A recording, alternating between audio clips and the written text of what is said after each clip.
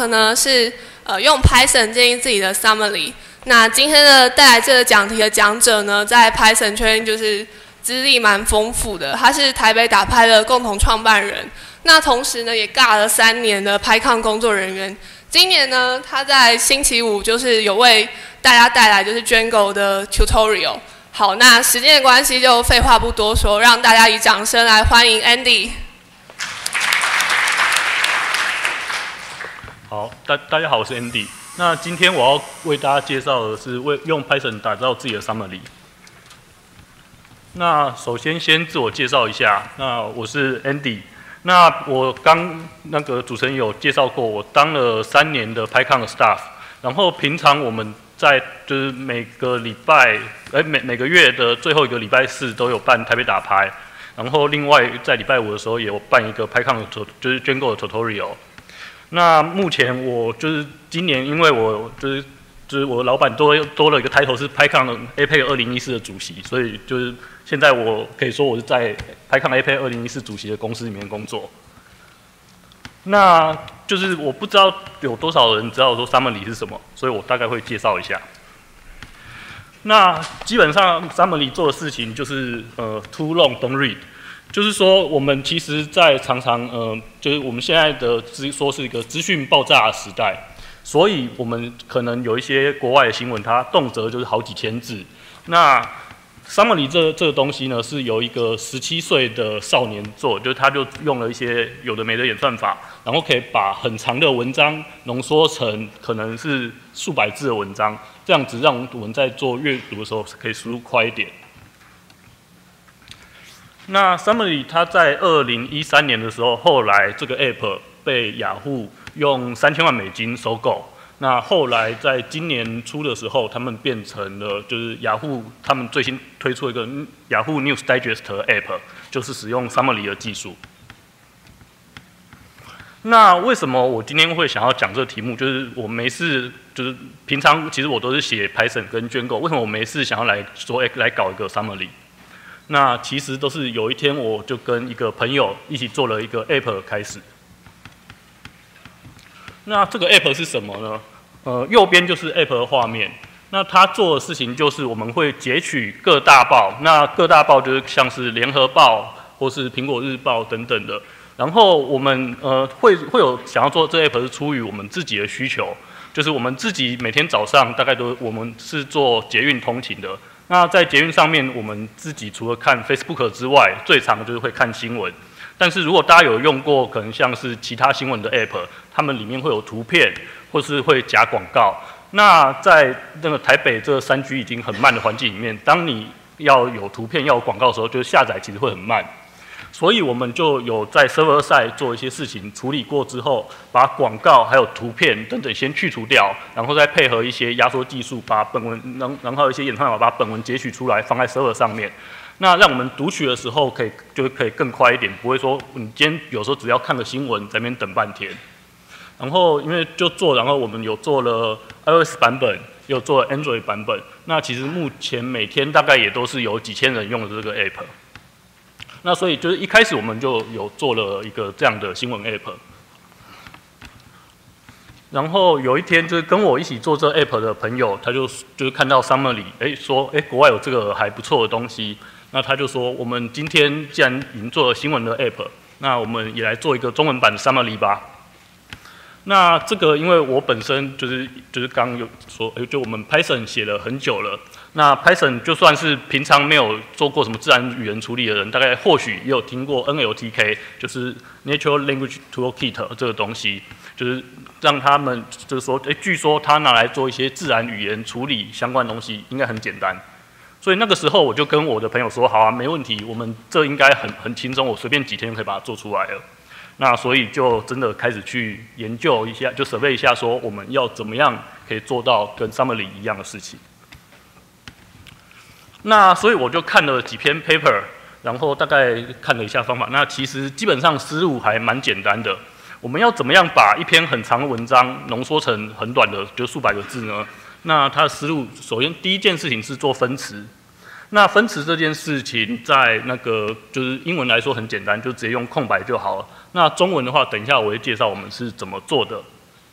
那当你分好词之后，再就是我们有很多的词，那你要在里面找到哪些词是关键词？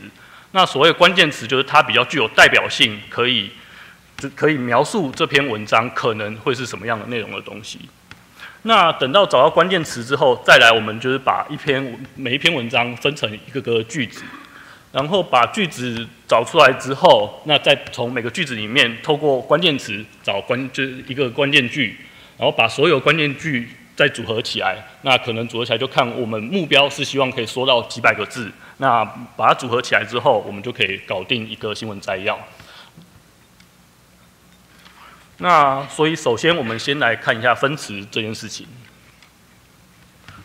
那分词是在做什么呢？那就是很简单，我们上面假如这句话，我们也来做个中文版的 summary 吧，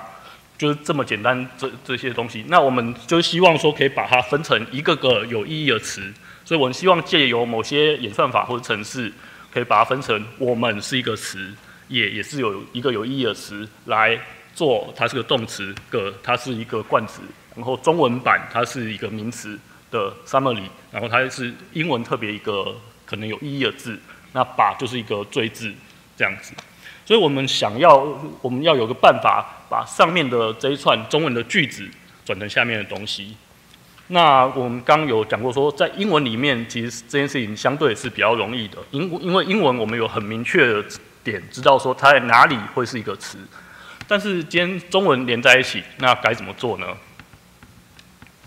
那所以那个就是当初我刚看到，我想说，哎，这应该很简单，就 N 就 N L T K 这么厉害，一定会有这东西。不过实际上用过之后就知道，嗯，其实不行，没有那么简单。就是它 N L T K 它基本上它在当初设计的时候，一开始因为是由外国人设计，由英英文语系设计。所以它里面包括断词，还有一些分析等等，default 都是以处理英文比较好为主。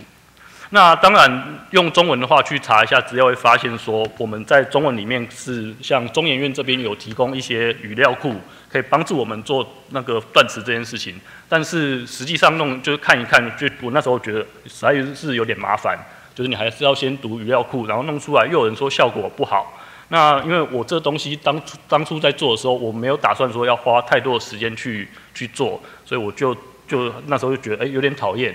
所以又花了一些时间就再去设备一下。那就是 Google 是我们很好的朋友，所以那时候我就上 Google 去找呃中文分词还有拍上这三个关键字，然后可以大家可以看到出现的前三笔资料都出现一个叫结巴结巴这个东西。对，那所以那个我们那时候那时候我就想说，嗯，如果这个样子，那就是可能或许这是一个还不错的 solution。然后那个时候也有大概看了一下几篇其他人用的心得，哎，乍看之下还不错。那所以我就打算来用结巴这东西。那这个是结巴，它在那它 GitHub repository 它的 slogan，它 slogan 就是结巴中文分词。做最好的拍上中文分词组件，这是他的目标。那目前他可以处理简体中文跟繁体中文都可以做。那所以我就看了一下结巴，其实结巴做分词这件事情相当的简单，就是我们就是把结巴用 pip 安装好之后，我们就用呃，又先把它 import 进来，然后接下来就用结巴打 cut 这一个。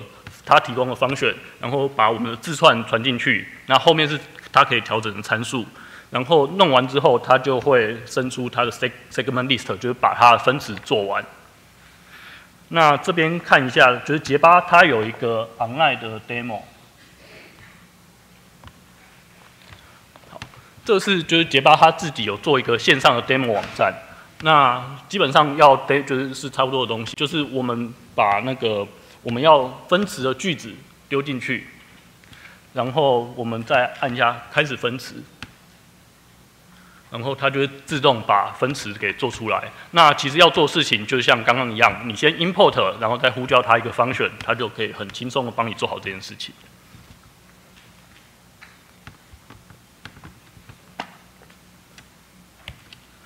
那所以我们现在分词就很轻松的把它搞定了。那分词搞定之后呢，再来我们要来做找关键词这件事情。那这时候可能就会想说，嗯，我们在一篇文章里面，什么叫做关键词？那所谓关键词，大家可能第一个想的说，呃，如果在文章里面有一个词，它出现的频率很高，那么可能这个词就是所谓关键词。那那这可能比如说你在一篇讲城市语言相关的文章里面，假如一直出现呃城市两个字，那你自然知道说这一篇它是跟城市应该是它的关键字。或是如果常出现 Python 这关键字，也可以知道说它应该整篇就是在讲 Python 城市语言。相关的东西，那但是这个样子其实会有一些盲点。那比如说，今天举个例子，假如我在一篇文章里面，我们发现说，呃，有三个关键词，它的频率都是一模一样，像城市、台湾还有进入，它假如这三个词关都是频率一模一样的话，那么这篇文章它比较可能是讲什么东西呢？那乍看之下，我们其实可以有一个直觉，就是，呃，一般来说。我们在平常写文章的时候，可能“城市”这两个字出现的频率比较少一点。那台湾可能稍微频率再高一点。那进入，因为有时候是一些冗字，所以文章可能一般人在写文章的时候会多用“进入”这个东西。所以，呃，以词性来说，我们可以知道说，呃，这三个虽然说出现的频率一样，但是因为城市一般我们比较少用，所以这篇文章比较可能它在讲城市相关的东西为主。所以我们会把这件事情做一个加权调整。那这加权调整就是我们如就是一有一个很常见的方法，就是做 inverse document frequency。那 inverse document frequency 的意思就是说，我们照就以我们刚刚讲的，如果呃我们会去计算，就有个方式可能是建一些词库等等的，去计算说，城市在一般人写文章里面用的频率是多少。台湾在一般人写文章里面用频率是多少？还有进入这个词在一般人的写文章频率里面用的是多少？那我们这 inverse 就是把它频率是个导数，所以代表说，如果这个它平常这个 turn 它平常被用的频率很低的话，那它的加权相对就越高。这样子就可以让我们在频率都一样的里的那个词里面，可以我们透过这加权就把它可以。呃，让它找出说它是真正比较重要的词。那这个方法通常我们就叫做 TF-IDF。那 TF 就是上面出现最高频率的词 （turn frequency） 的缩写。那 IDF 就是所下面的加权调整。那如果想要对这个它内部实作可以有更了解的话，就应该去搜寻 TF-IDF 就可以找到。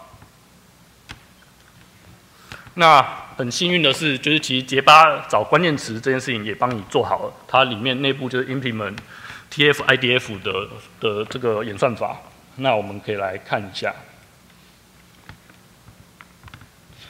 那这个是我丢进去的一篇文章，然后它这边可以选择说你需要找前几就是前几重要 I 的那个关键词，那它的权重就是用我刚刚讲的 TF-IDF 这个方式来算出来的。那就是也做做看。那这边它就是用，就是会帮你把这些关键字给分出来。那这这是它的 demo。那其实我们实际上要使用上也是很简单，我们就 import 结八点 analysis，然后下面 content 这边就是我因为内容可能很长，所以我这边就没有打出来。那我只要用结巴点 analysis 点 extract tag 这个方选，把我们的 content 传进去，再跟他讲说我们想要找前几高，就是前几高、前几重要的它的关键词，那我们就会把它就可以把这些截取出来关键词传到 text 这个 list 里面，所以我们在这边又可以很轻松的把这件事情做完。那再次证明了杰巴他想要做的事情其实真的蛮厉害，他 slogan 就是一样。他希望做最好的拍上中文分词组件，所以到这边为止，我们已经可以很好做好分词，还有做好那个就是关键词这件事情。那再来，我们就要把我们一篇文章里面一个句子给分出来。那像在那个分句这件事情，理论上相对来说是比较简单。因为大家从小就开始学作文，都知道说标点符号是很重要的。那所以基本上我们要怎么样会是完成一个句子呢？可能会是逗句号，惊叹号和问号或者分号这样子完成一个句子，而是而像我们使用逗号或顿号的时候，代表说句子会一直延续。所以我们分句就是透过这些标点符号就可以把它做完。那这样子理论上就可以把它切成一个个，就是它是一个单独的句子。那再来最后，我们已经分好句了，就是找它的关键句，然后我们组合就把这些关键句组合起来就可以完成。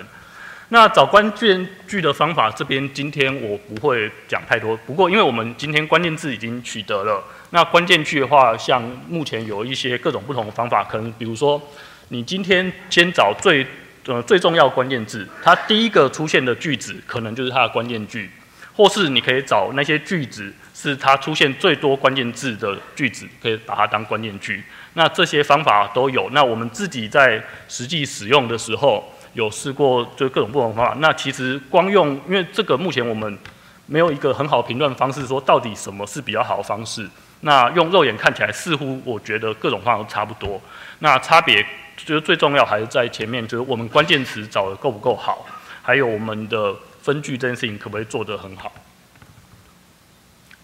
那这边是一个例子，就是我们用那个有误报告它里面的一篇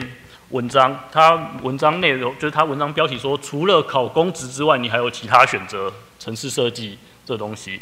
那它那个内容是，就是其实它文章字还写蛮多的，它里面主要讲的就是说，现在呃，就是像前一阵子大家都说年轻人只有二十二 K，很可怜。那，但然后就算是现在公务人员，他们手上就是已经没有十八趴了，但是就是就是还是很多人要一直去试着去考公职，想说有一个铁饭碗。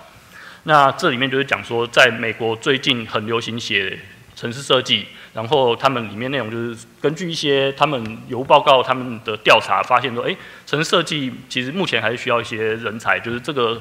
产业其实还蛮不错的。那是不是写就是大家可以去学写城市设计？那可以让那个就是是另外一条出路。那我们就用刚刚的结巴来找它的关键字。那它的关键字其实帮可以看到帮我们切的还蛮不错的。出现的会是城市设计产业，然后有当然自然有公务人员考试等等的东西。那就是有了这些关键字之后，我们就去做我们的跑文的城市。那最后出来，这是一个，就是这是一个结果，就是他把里面一些关键句给抓出来，然后组合成他所谓的摘要。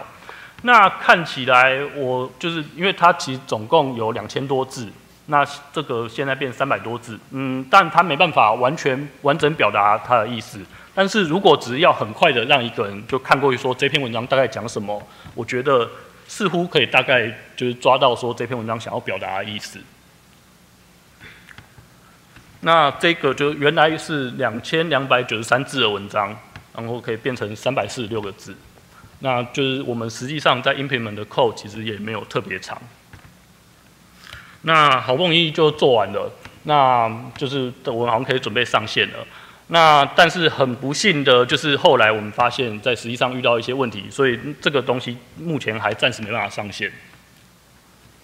那事情但绝对不会你想那么简单。就当我们实际上就是因为刚是有物报告那一篇，呃，就是还有物报告是一个还蛮不错的网络媒体，他们里面文章的 quality 相对还蛮，就是算算做还蛮蛮好的，然后文章也都蛮够长。那所以当所以我们后来就想，哎，这 OK 之后，就拿目前实际上的新闻来做测试。那可能就拿联合报啊，或是自由时报等等新闻来做测试。那这时候我们发现一个很糟糕的事情。就是这是某某个报纸的报道，某报纸的报道，那就是他这是他们前两段，那这这是真实就是真实的报道，大概我是拿昨天还是前天的东西，那这两段到底发生什么事情呢？那这样子可能看不太出来，我们把标点符号放大一点看，可以发现说，呃，第一他们在分段的时候，基本上他们没有所谓，根本每一段就是一大句，每一段就一个大句子。所以他们在中间都是用逗号、逗号、逗号、逗号，呃，逗号、逗号、顿号、顿号、句号，然后其他就是也是顿号、逗号、逗号、逗号，就是他们中间是没有停顿的。所以用分就是用我们之前用单单纯标点符号来分句的方式来说，就会变成，呃，这这就是两个大句子，然后它每个句子都很长，那这样子就会导致说，我们因为之前是用句号、惊叹号等等的方式来做分句，所以它每一个就是一个很长的句子，所以就等于是我们截取出来的就是所有东西可能都只是在第一段而已。那这个故事就就是他们就是很奇怪，不知道为什么我们现在的文字记者在处理这些事情的时候，就是他们并没有试着把标点符号用到正确的地方。那所以其实我们小时候小小时候就是我不知道大家是怎么样。那我从小在写作文的时候，就老师其实就跟我们讲说，标点符号很重要，标点符号很重要。就是你们什么时候用逗号，什么时候用句号，什么时候叫怎么样叫一句话，这件事情很重要。那只是像前一阵子好像有说什么作文可以越来越不重要什么，但是我觉得，呃，有些事情还是不能废掉。尤其像现在是网络时代，大家都是用手在那边打字，那标点符号我看很多不只是那个新闻报章杂志的媒体，那其实我看我自己周遭的同同事很很多打字也都是就这样，就可能一段就是逗号顿号弄到尾，不会有句号。那所以，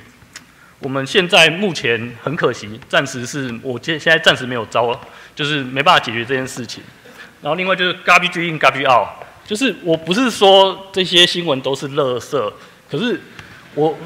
我的意思是说，就是如果就是这个其实 garbage in garbage out 是一个在资料处理里面很重要一个观念，就是说你如果进来的东西是就是有问题的，那就算你的演算法再完美，你的你的想法再正确，理论再对。但是当你进来东西是有问题的时候，那你出来结果绝对不会是是你所想的一样。所以有时候在我们包括设计这些呃你想做的事情的时候，你必须要考量到实际上它可能资料会是长什么样子。那像我们今天就可能在做之前没有稍微考虑到，就是没有先去看一下那些记者他们的文章，不知道说他们之前或许作文课没有上上的比较好，那导致我们今天这个结果。那所以很遗憾的是，到现在我们的 App 还是暂时没办法把摘要这个功能加进去。那不过或许之后我们，嗯，就硬着头皮就上也无所谓，反正现在大家看新闻也都很快，可能就看个第一段也就 OK 了。好，那那个就结论就到这边。那工商服务一下，就是今年我是拍抗赞助组的工作人员。那我们在四楼外面其实有很多赞助商，他们今天有来就是会会摆摊，像 Tattoo、Vpon、HDE、Zillion，还有 APIE 啊，他们都有来这边，就是他们会希望可以增财，他们可以会希望说可以找到一些那个他们希望的人。那等一下下午的时候，欢迎大家可以去看看。那另外就是那个就是今天我们可以，如果昨天大家有喝到四楼后面的狼茶，那我就是就是应该会觉得相当不错。那如果没有喝到的话，也欢迎大家等一下可以去那边喝喝看。那他们也是我们赞助厂商。另外，在那个后方四楼那边，我们有弄了一区很舒服的沙发区，那是由 COBC 提供的。那 COBC 是一个，就是他们是一个那个 co-working space。那大家也欢迎去那边休息聊聊天。那到这边，请问大家有什么问题吗？哎，请说。不好意思，我刚同步也在电脑上面测试了一下结巴。那我发现一个问题，就是说，我当我输入一个新闻标题的时候，它有时候不会正确的截取到正确的词。那那个不正确的部分，如果套到 TF-IDF 的演算法，它其实应该权重会变得非常高。是，对，像像这种部分的话，呃，不知道你们是怎么处理，让它这种情况的影响变小。嗯，其实我们在做的时候，就是像结结巴，它基本就是因为其实分词这件事情到目前为止还是很难做，因为你可以，我们刚有讲说，像英文它基本上分词都以空白为，就是就就可以做很好的分词。那中文这件事情，但结巴它毕竟是目前是中中国人做的，所以他们用的词都是在呃，就是对岸那边的一些词。那所以或许有些词我们没办法很好的对到。那这个我们之前的做法，我们其实有去找到一些其他的词库，然后去改结巴 source code，让它相对分词可以做好一点。那这件事情，我想就是或许做一做之后，你也可以送 pull request 回去，然后看加一些什么选项，可以让这件事情做更好。对，谢谢。好，那后面的那位会众。我我想问一下，就是说这个跟我们平常那个网页搜寻的时候的那个 SEO 有有什么特别不一样的地方？因为 S 一般 SEO 好像可以看它 Meta 的那个 keyword 嘛，那像这边是不能找那个 keyword 嘛？然后还有就是说你们那个，就是你刚才说那个文章太长的那个，我想是不是直接就发个文给那个网站，叫他文章写短一点，那个这样子是不是就就可以那个，就说如果针对特殊的网站的话，这样子可以解决了。嗯好，那你第一个问题是，就是像我们在关键词截取的时候，是跟一般那 SEO 我们它里面会下那个 meta keyword 有什么不一样？那其实首其实首先一般我们就是因为之前我们那一个做那 app 的时候，我们就有做就是类似，就是其实我们会去爬他们网页，然后看一下他们内的结构。那其实很多那些新闻网站，他们 meta 根本就乱下，他 meta keyword 可能就是想到什么全部都塞进去，所以光看这些东西是没有用的。那所以实际上你还是要是去把它本文给抓出来，去做这些分词之后，才可以抓到比较好的关键字。因为就是对于那些新闻网站来说，他们操作后台的人是他们的编辑，是他们的记者，那他们根本可能也没有这些相关知识，或者他们就觉得反正随随便便做就好了，他们这些东西是不会好好做的。那第二个问题可以麻烦你再重复一下吗？我没有，我说，因为我觉得这个其实就是感觉就是一个 SEO 的问题嘛。那像 Google 它就会有提供 SEO 的原则出去。那如果你们的话，也许也应该提供这个原则出去。那其实就是请他们把文章写短一点嘛，嗯就这样子而已。嗯，好，那这个这个或许我们会想想看，不过可能对于他们来说是比较困难的事情。是。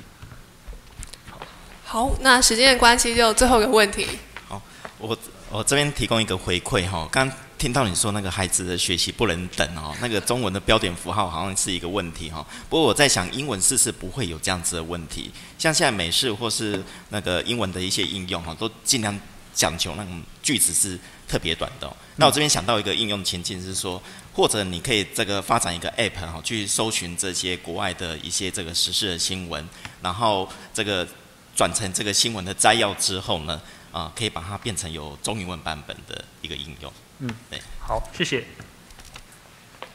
好，那 R 零的第一场 talk 可能就到这边结束。那请大家就是以掌声再次谢谢 Andy。